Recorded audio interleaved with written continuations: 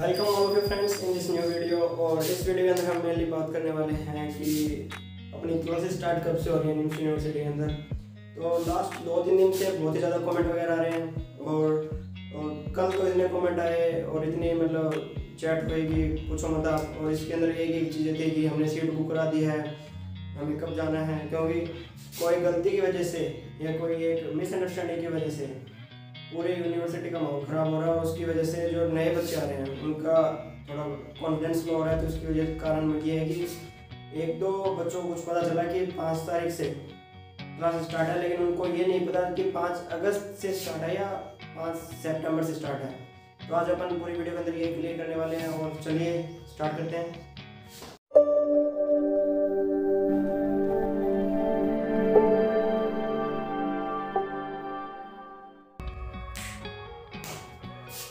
Friends अपना question पहले ये था कि यूनिवर्सिटी में स्टार्ट क्लासेस स्टार्ट कब से हो रही है? तो इसके पीछे कुछ नहीं है फ्रेंड्स कि एक दो गलती की वजह से आपके पास रॉन्ग इन्फॉर्मेशन चली गई है और कौन सी इन्फॉर्मेशन उसे करने वाले हैं आज अपन? रुको जरा सबर करो बोला धक्का बुक्की नहीं करने का।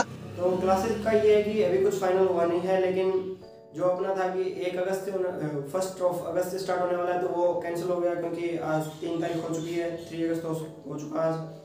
अब बात करते हैं रक्षाबंधन बात की। तो फ्रेंड्स जिस जहाँ तक मुझे मतलब अपडेट मिला है कि वहाँ तक यही है कि अपने अगस्त में क्लासेस स्टार्ट नहीं हो रही हैं। और अगर होगी क्लासेस स्टार्ट अगस्त में तो अगस्त के लास्ट वीक में ही होगी। और दूसरा ऑप्शन अपने पास बचता है कि अगर अगस्त में नहीं होती है तो क्लासेस स्टार्ट कब से होगी? तो फ्रेंड्स अगस्त में नहीं होती तो क्लासेस स्टार्ट पाँच सेप्टेम्बर से।